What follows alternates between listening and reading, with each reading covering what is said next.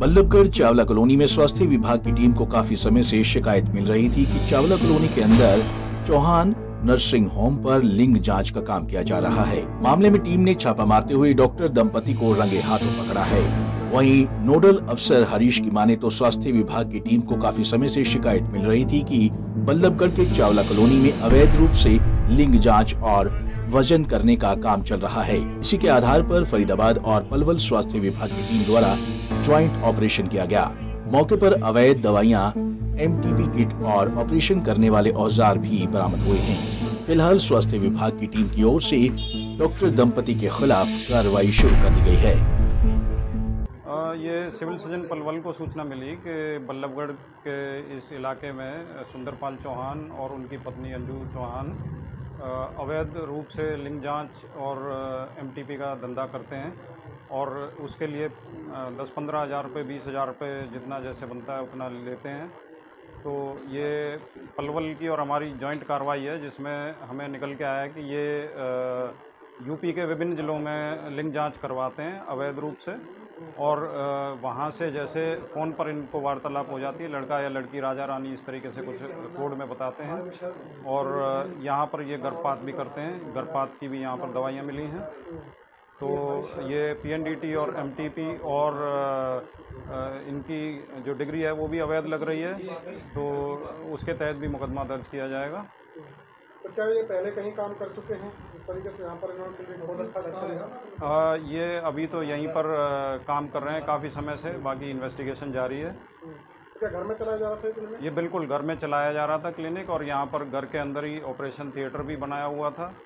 और काफ़ी मतलब बेड भी हैं मरीज़ भी एडमिट कर रखे देख रहे हैं। फरीदाबाद की टीम विभिन्न जिलों में जाकर के जो है छापेमारी कर रही है जो गर्भपात जो करने वाले जो लोग हैं क्या कुछ जो है टारगेट ले रखा है आपने?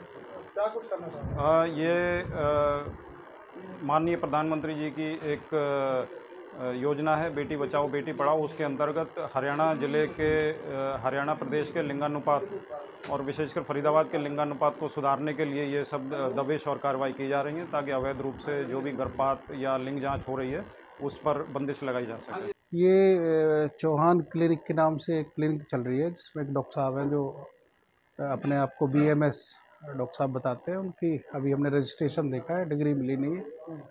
तो उसको वेरीफाई कराएँगे पता चलेगा। किस शिकायत के आधार पर जो है छापेमारी की गई? ये काफ़ी ये काफ़ी दिन से शिकायत आ रही थी कि यहाँ पे इलीगल सेक्स डिटर्मिनेशन होता है। लड़के लड़की की जाँच की जाती है। ये लोग अल्ट्रासाउंड कराते हैं और एमटीपी भी कराते हैं। उसके बाद में लड़की होती है तो एबॉर्शन कराते हैं। इस इसके ऊपर कार्रवाई की गई है। क्या कुछ दवाइयाँ मिले क्या कुछ इक्विपमेंट मिले हैं? इसमें कुछ मिला है? यहाँ पे सबसे पहले तो हमने एक डिकॉय बनाया था। डिकॉय भेजा था इनके पास, उससे इन्होंने पंद्रह हज़ार रुपये लिए थे। और उसको बैजोई बरवाला एक जगह है, वहाँ पे ये सेक्स डिटर्मिनेशन के लिए भेजने वाले थे कल। इन्होंने पूरा उसको बना के दिया था।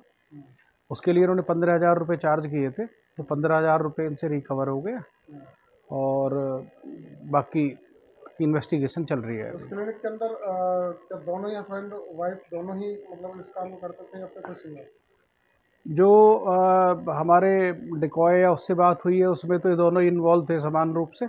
बाकी अभी जाँच का विषय है जैसी जाँच के आधार पर किसी मतलब अस्पताल में काम करते थे क्या कुछ था पहले से कुछ ऐसा कुछ जानकारी ये जो इनकी मिसेज हैं वो जीएनएम है। जो स्टाफ नर्स का कोर्स करके रहती है तो ये डिलीवरी वगैरह इन्होंने अच्छा खासा ऊटी बना रखा है घर में अच्छा। और ये क्लिनिक करते हैं घर में चला जा रहा है? घर में चलाया जा रहा है क्या कुछ कार्रवाई जो है स्वास्थ्य विभाग की तरफ़ से की जाए स्वास्थ्य विभाग की तरफ़ से पूरा सर्च हो रहा है।